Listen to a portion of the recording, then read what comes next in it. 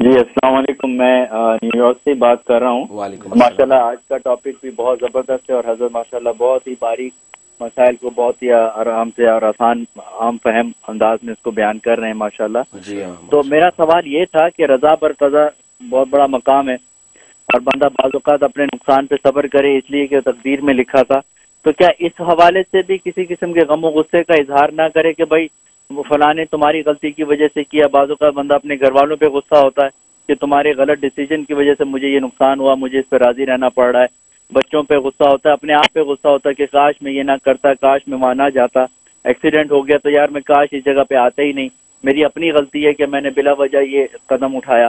तो इस तरह से अपनी गलतियों पर, पे भी राज़ी हो जाए, कोई बात नहीं, किस्मत में गलतियाँ लिखी थी।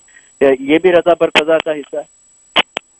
अच्छा ज़रूर आपसे इसका इसका सवाल का जवाब लेते हैं। सही। बकिया वीडियो देखने से पहले वीडियो को लाइक करें राहम टीवी चैनल को सब्सक्राइब करें और बेल आइकन पर क्लिक करें। शुक्रिया।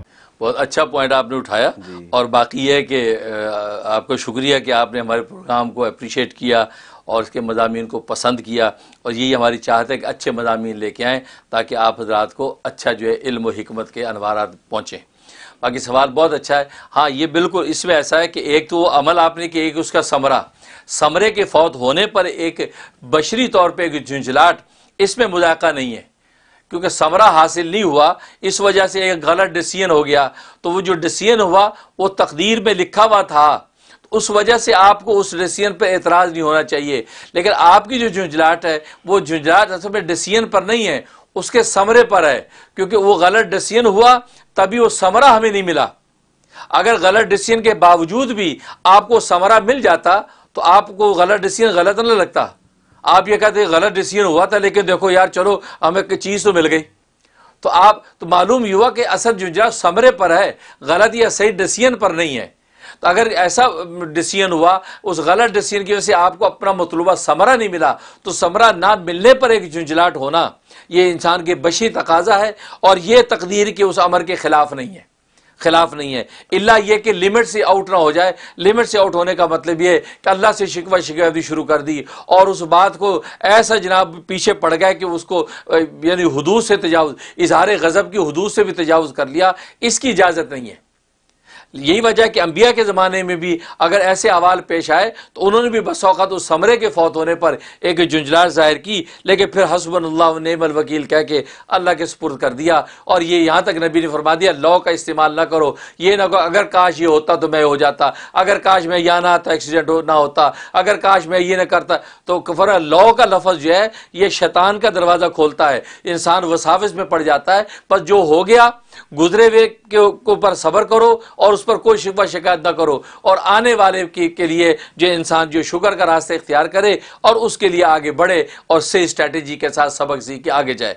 तो ये तो इस सूरत में जो यह रजा कदा के खिलाफ नहीं होगा। लेकिन अगर आप उस डिसीज़न पे, यानी तकदीर के फैसले पर भी एतराज़ कर रहे हैं, आगे समरे की जुनार बिजार कर रहे हैं, इसका मतलब रजा बर कज़ा का मुकाम हासिल नहीं है। लिहाजा उसको इसके बारे में तजकी और मेहनत करनी चाहिए कि जो हो गया, उसको तकदीर समझे और समरा ना मिलने पर जो अफसरदगी है, कोई बात नहीं, उस अफसरदगी का इजहार जो है, वो तकदीर के फैसले के ख़िलाफ़ नहीं है। ये ऐसे ही है। सरकार दो आलम सल्ला वसम की गोद में इब्राहिम आपके साहिबजादे और वो फौत हो गए हैं।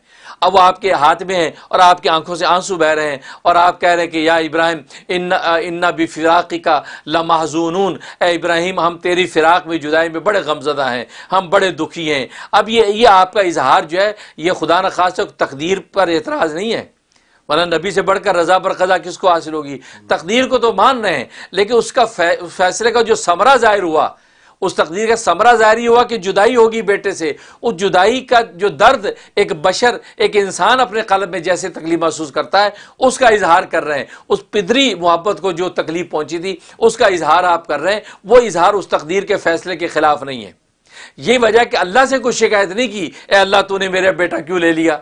है? मेरा मासूम बच्चा मेरी आँखों की ठंडक था, दिल का सुरूर था, ये तूने क्यों उठा लिया इसको और ज़िंदगी दे देता? नहीं, ये नहीं क्या? इसका मतलब फैसले पर तो राज़ी हैं। जो समरा ज़ाहिर हुआ, वो बशरी कैफियत के ख़िलाफ़ था तो उसका दुख ज़ाहिर कर दिया तो गोया को तकदीर के फैसले के ख़िलाफ़ नहीं होता। माशा